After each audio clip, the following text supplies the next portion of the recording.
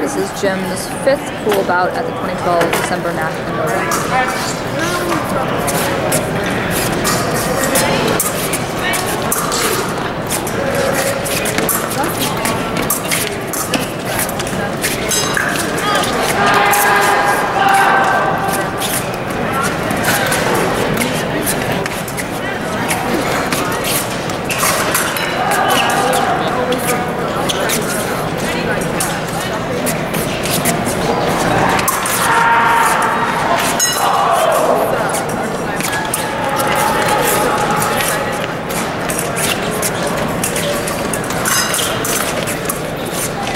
Thank you.